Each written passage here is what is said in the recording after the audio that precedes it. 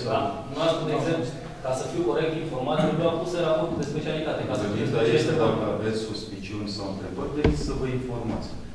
Schimbul de replice a avut loc în ședința Consiliului Județean. Daniel Zdrânc a fost singurul care a votat pentru respingerea proiectului, susținând că măsura este ilegală, iar Consiliul Județean a omis să informeze pe consilier despre legalitatea continuității. Pe de altă parte, Florin Roman a cerut consilierului PSD să vină și cu soluții pentru a nu lăsa mii de oameni din județ fără posibilitatea transportului în comun. Ați votat pentru ca cei la 30 de mii de oameni să poată să meargă la muncă sau în altă parte, adică să, să aibă și județul ăla un transport județean asigurat.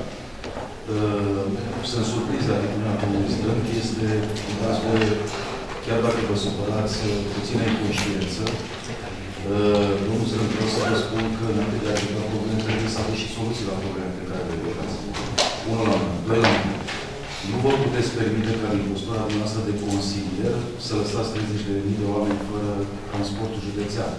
Trei la mână. Nu vă puteți permite să întrerupeți vechimea pe traseu pentru operatorii care operează în județul Alba ca transport. Pentru că dacă faceți asta, faceți trafic de influență. Deci v-aș ruga ca pe viitor, cu tot respectul, să vă pregătiți și v-am rugat ca dacă aveți chestiuni pe care doriți să le cunoașteți cu adevărat și să nu faceți, să nu faceți șef în Consiliul Județean, puteți să-l faceți în conferințele de presă la partidul nostru. Rugămintea este să veniți să vă informați. Că altfel nu veți înțelege niciodată cum, cu atâta ușurință, veniți astăzi și ne spuneți cu semnătate că de mâine 30.000 de oameni în județul Alba n-am mai să circule cu autobuzul. Vă mulțumesc.